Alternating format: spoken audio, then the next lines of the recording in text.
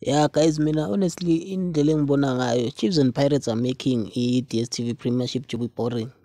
They are making it to be boring because we can't blame Sundowns and saying Sundowns is ruining our league. Sundowns, Sundowns is just doing what they have to do. They are winning games, which is something every team should be doing.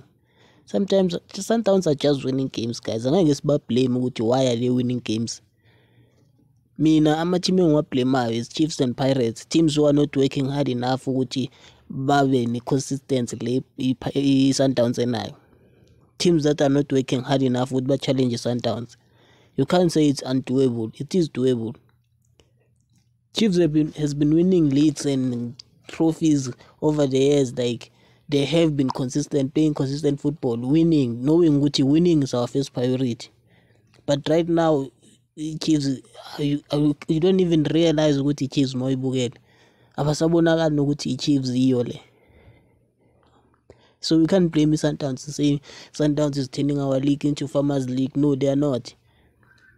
The big teams in our league are not fighting. They are not doing enough ukuthi ba-compete ne-Sundowns. You can't say it's already uh, eight games in and then you already know who's going to win the league.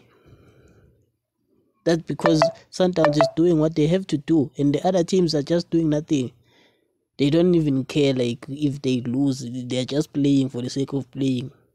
You can't lose the league for six, seven years in a row and not improve, not show the hunger which now we are following the league as a big team. You can't. You have to show what you want to do to win the league.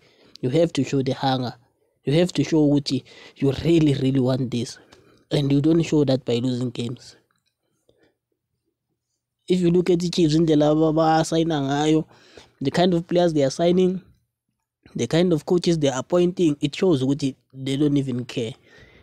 There are certain coaches obonayo ukuthi you can never go anywhere with this kind of a coach. You can't take an inexperienced coach, Coaches never coached in the big leagues. Then umenze i-coach yakho hoping ukuthi you are going to dethrone i-Sundowns ngalowo coach. It's highly impossible guys. Ezinye izinto they just need logic. So yeah, guys, I mean I don't blame Sundowns which they are running the league. I blame Chiefs and Pirates ukuthi they are not fighting enough to compete with Sundowns.